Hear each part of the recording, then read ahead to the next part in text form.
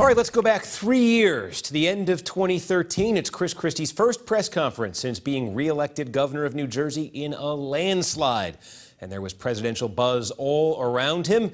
But he found himself at that press conference bombarded by questions about a story that had been brewing in the local press.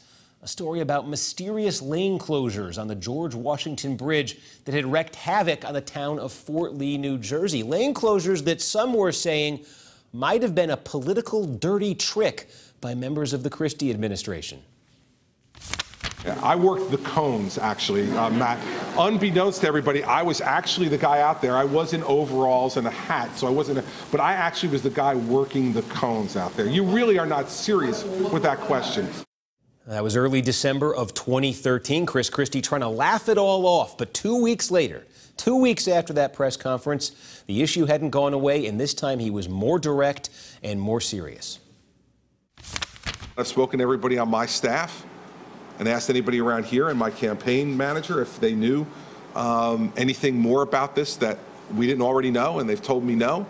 Um, and so, I, you know, the chief of staff uh, and the chief counsel assure me uh, that they feel comfortable, that they have all the information we need to have.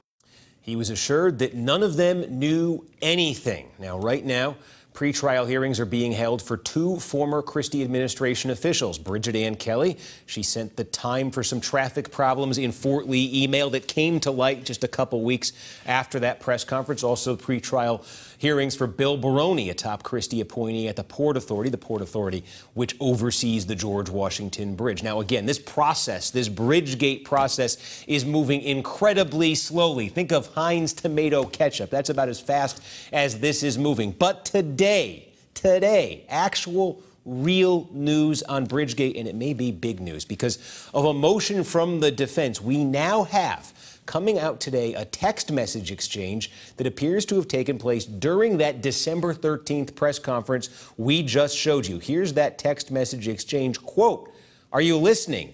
He just flat out lied about senior staff and Stepien, Bill Stepien, Christie's campaign manager, not being involved. Response to this text I'm listening. Gov is doing fine, holding his own up there. Now, the first aide writing again, quote, yes, but he lied. And if emails are found with the subpoena or Chris Christie for governor emails are uncovered in discovery, if it comes to that, it could be bad. Now, the person who seems to be saying in this exchange that Christie lied in that press conference is Christina Renna. She was then an aide to Bridget Kelly in Christie's office. And here she is in these newly released text messages from the end of 2013 saying that Christie was, her words, flat out lying. Now, that exchange again, December 2013, almost three years ago. Christie today telling the Associated Press that the texts are, quote, nothing new, and he strongly denies that he lied at that press conference. His spokesman today tells us, quote, the governor's statements have been clear. Nothing contained in this text message changes that in any way. He stands by those statements completely and unequivocally. And the governor's office also pointing out to us that weeks after that December 2013 press conference, Chris Christie said that it turned out he had been lied to by Bridget Kelly. So maybe that explains what looks like a pretty big inconsistency here. That is one possibility. The discovery of these texts would seem to raise a lot of possibilities, and we have just the person to help us sort them out. Joining us now is Matt Katz, Peabody Award winning reporter for WNYC, author of American Governor Chris Christie's Bridge to Redemption. Matt, we are very glad to have you with us tonight. So, any way you can translate these texts to us? We just got this exchange. Suddenly, people are trying to figure out does it mean a lot? Does it mean nothing? What's your best interpretation of what we're looking at?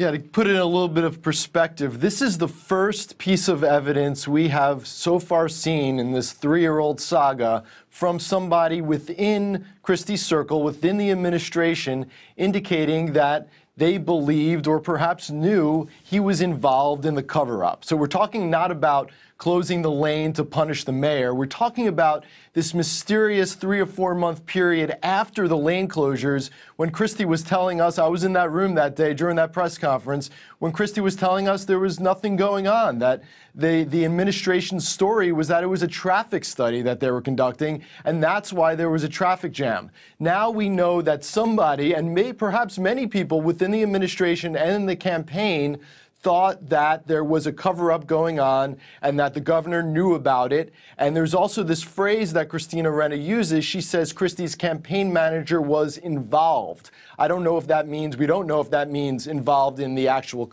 uh, conspiracy to close the lane to punish the mayor or the uh, cover up in the, in the aftermath.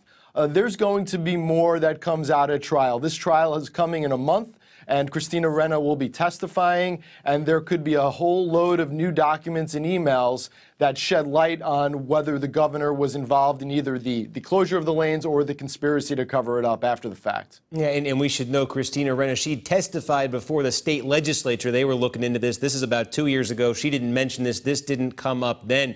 But she mentioned these, uh, these trials are, are getting underway. What's her role going to be in the trial?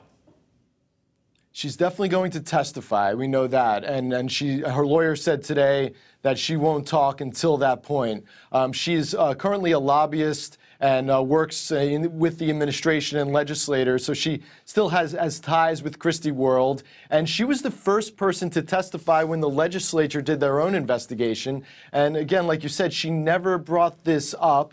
Um, and she also provided a lot of documents, but apparently did not provide these text messages, so she deleted them. And now Democrats are now uh, saying that she should be investigated uh, for possibly hiding evidence, um, which could uh, lead a whole new road uh, that we could go down involving her and what others close to Christie uh, may have been hiding. Remember, she also had claimed that her boss, Bridget Ann Kelly, who's under federal uh, indictment now and, and faces a trial next month, she had said that Bridget Kelly had told her to delete an email that implicated Bridget.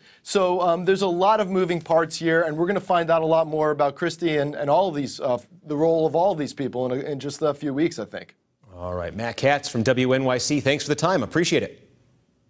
Sure, Steve. All right. Hey there, I'm Chris Hayes from MSNBC. Thanks for watching MSNBC on YouTube. If you want to keep up to date with the videos we're putting out, you can click subscribe just below me or click over on this list to see lots of other great videos.